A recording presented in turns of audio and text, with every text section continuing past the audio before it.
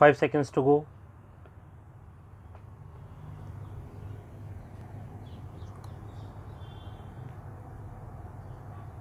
Start. The appellant and the respondents are plaintiff and defendants number 1, 2 and 3 respectively in the suit presented in the court of subordinate judge Varanasi. The plaintiff in the suit claimed for the reliefs of directing the defendants to execute a fresh sale deed with regard to the suit property in pursuance of an agreement for sale dated 27th February 2006 on or before the date that may be fixed by the court and failing which execution of the sale deed by the court. She also prayed for grant of permanent injunction restraining the defendants from disturbing with her peaceful possession and enjoyment of the suit property.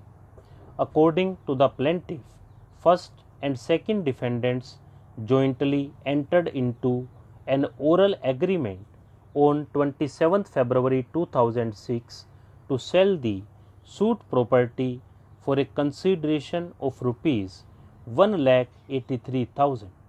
It was agreed that the sale deed in pursuance of the oral agreement for sale would be executed and registered on the same day. The plaintiff purchased the stamp papers and paid the entire sale consideration to the defendants.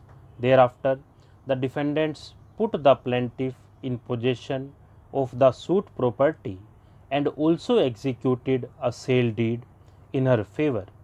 On 27th February 2006, the said sale deed was taken to the sub registrar's office. The sub registrar, however, informed that in view of an order of attachment of the suit property, the sale deed could not be registered.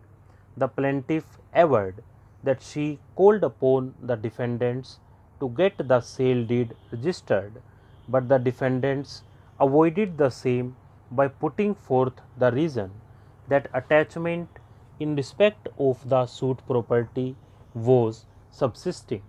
Mr. D. R. Sharma, learned counsel for the respondents, however, strenuously urged that 1911 Act is a complete code by itself and is a special law and therefore any dispute regarding the registration including the refusal to register by any party is covered by the provisions of that act and the remedy can be worked out under it only.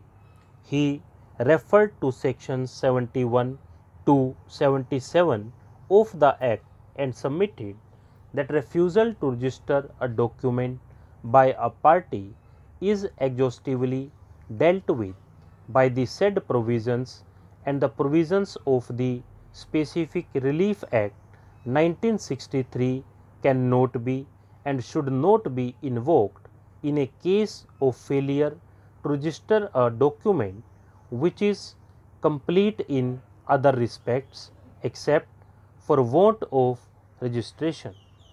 Learned counsel for the respondents submitted that the defendants refused to admit execution of the said document before the concerned sub-registrar because of the fraud played by the appellant in as much as instead of writing an agreement to sell she got executed a full-fledged sale deed contrary to the agreement and understanding. The defendants accordingly walked out of the office of sub-registrar without admitting the execution of the sale deed and under these circumstances the only remedy available to the appellant was to get an endorsement and then file an application before the registrar under section 73 of the 1911 act. Stop